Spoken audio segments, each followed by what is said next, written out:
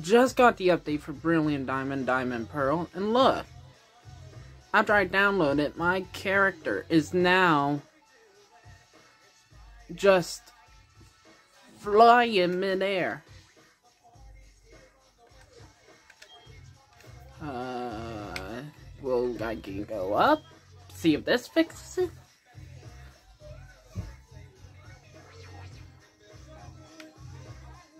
Alrighty.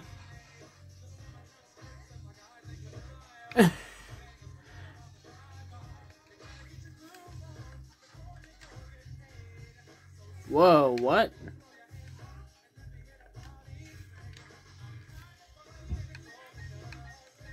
So just by pressing Y, go local or global room.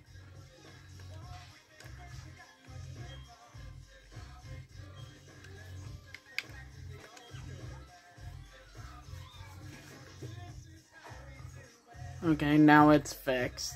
Good. Like the hell?